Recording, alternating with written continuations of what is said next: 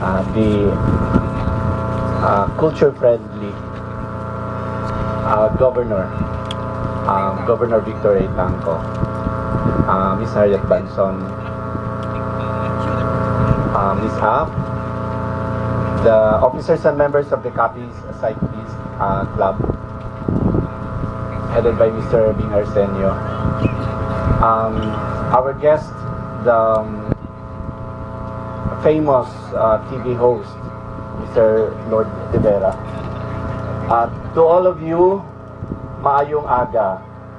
The provincial government supports the Department of Tourism Region 6 campaign Experience Western Visayas First.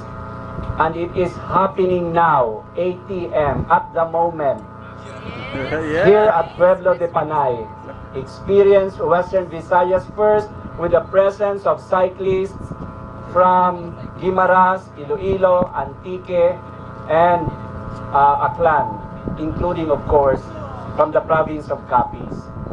But before we experience the whole of Western Visayas, we have to experience Capiz first. And we would like to congratulate the Capiz Cyclist Club for helping our tourism industry, our local tourism, for in um, by supporting our programs, our initiatives, by promoting our various tourist attractions. Sa ilang nga pagbisita sa Lictinon Falls, kagiban pa nga mga tourist destination dire, nabuligan nga mangin popular ang aton nga mga tourist attractions diri sa Capiz. The challenge always is, sino ang maga-promote sa probinsya sang Capiz? Hindi lang ang provincial government, hindi lang ang Provincial Tourism and Cultural Affairs Office, kundi ang maga-promote, amo man mismo ang mga kapisnon.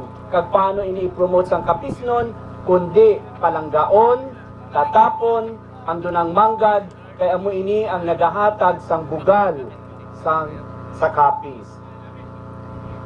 Um, the Provincial Tourism and Cultural Affairs Office was tasked by the provincial governor to manage the Capiz Eco Park.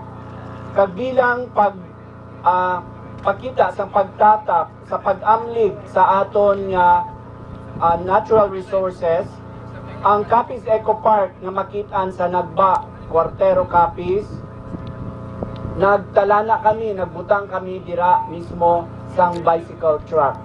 And we welcome the members of the Capiz Cyclist Club and all other cyclists from the various parts of Western Visayas, including the Negros uh, Island.